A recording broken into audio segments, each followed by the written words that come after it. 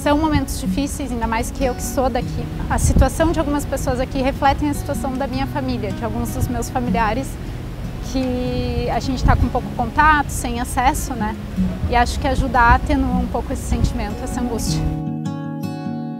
Eu acho que assim que a gente vai melhorar, né? unindo as forças.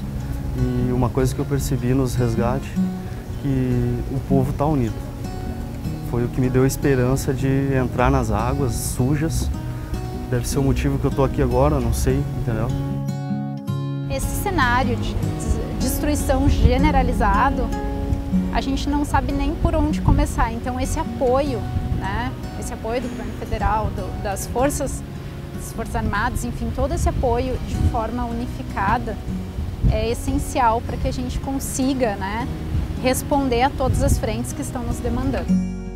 A gente nunca viveu um momento tão difícil, tão duro como esse e ter o carinho deles atendendo, saindo de da sua, deixando suas famílias, né, seus filhos eh, para vir aqui cuidar do nosso povo.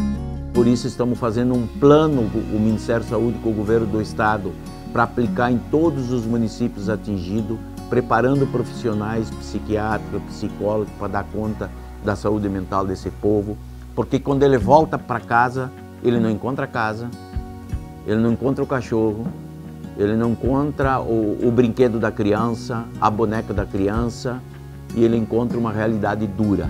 Portanto, nós precisamos cuidar bem dessas pessoas do ponto de vista da saúde mental. Usar uma frase que a gente sempre usa, né? A Força Nacional do SUS ela está onde o Brasil precisa. Então estamos à disposição, contem conosco, estamos aqui para sempre fazer o melhor para vocês e ajudar no que for possível.